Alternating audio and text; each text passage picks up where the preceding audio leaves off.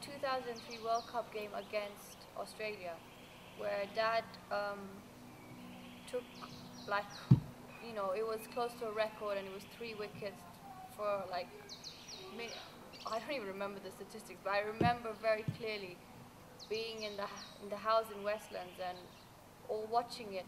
Me, Mum, and Irfan were watching it on TV. You know, back then we were recording it on the tape, you know, the VCR tapes, and he got we got someone out and then eventually got Ricky Ponting out and we were like jumping all over the place like oh my gosh.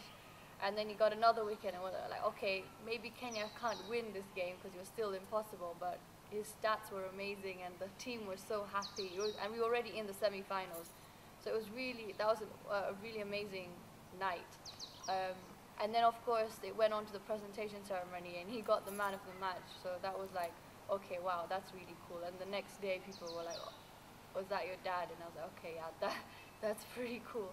And then obviously going, that the only time we actually got to watch him abroad in, in international cricket, because it was always during school time. But for the South Africa World Cup, when they made it to the finals against India, semi-finals, sorry, against India, we went to South Africa to watch it, and that's again when we were like, you know, in the kind of the players, you know, families, but like seating area and you can look down and see it and I was like, oh gosh, wow, like this is real.